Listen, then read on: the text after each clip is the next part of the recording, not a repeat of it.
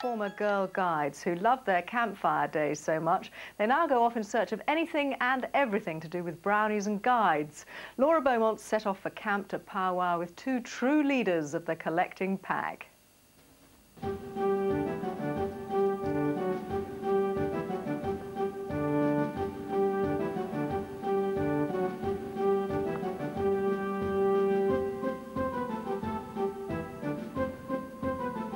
Okay, I know I'm a bit old to be a girl guide, but you must admit there's something so special about being out here in the fresh air, pitching your own tent and singing a rousing song around the campfire. And for two ladies in particular, their love of girl guiding has led them up the collecting path. Greetings, Susan and Carole. Hi. Hello. I believe that's the right thing to do at this moment. That's, that's absolutely it, yes. Now, how long were you two guides for? Well, I was a brownie and a guide just only for a little while. Um, and, and then I started back again as an adult as soon as I could.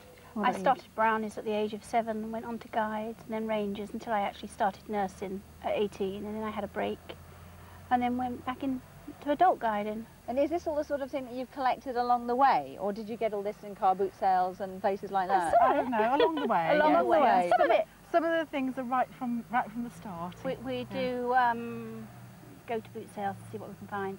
So, Susan, what are some of the earliest things that you have in your collection? Well, some of the things are my original brownie things. Uh, my certificate, for instance, my badges, a little brown owl here. What's that for? Oh, well, this was an advertising thing for advertising brown owl biscuits. So, who's this little brownie here? Yes, yes, that's me, yes. Oh, so sweet. Lovely uniforms then, weren't yes, they? yes, they were really. Yes, they're more practical nowadays, but I think they look more like uniforms in those days. What about these dolls over, the, over there? Whose are they? Well, they're mine. They're my daughters, really. This one here, the big one, was hers when she was a little girl. She was an honorary brownie from about the age of four or five when I ran a brownie pack. So this was hers.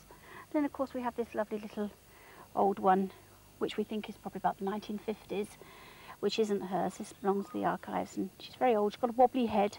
She's got a lot of badges there. She's got a hasn't lot of badges, yes, and she's got them on this side as well, and the tie with the badge. She's really rather sweet. Children, they love her.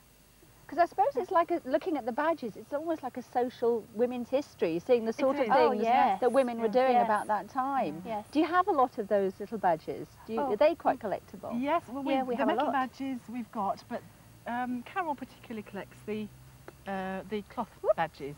I've got brownie and guide ones, but the, these really are my favourites, which were the patrol emblems oh. with the kingfisher. Oh, that's me. Yes, That's me. that's you. They're the kingfisher. Yep, the woodpecker. No. The wood- They're the kingfisher.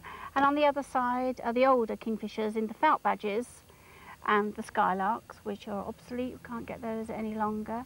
Then, of course, we have the interest badges, which is what the girls work towards. They're not really very readily available. They're quite hard to find, a lot of them.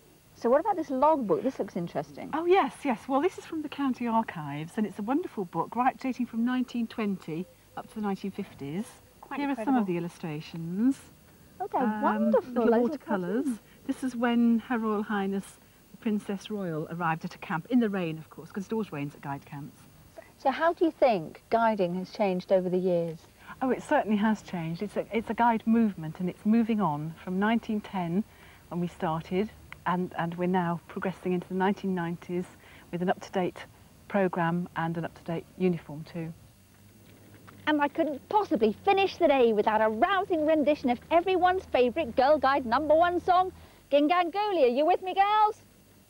Gingangooli, gooli, gooli, gooli, watcha, gingangoo, gingangoo, gingangooli, gooli, gooli, gooli, watcha, gingangoo, gingangoo. Hey la,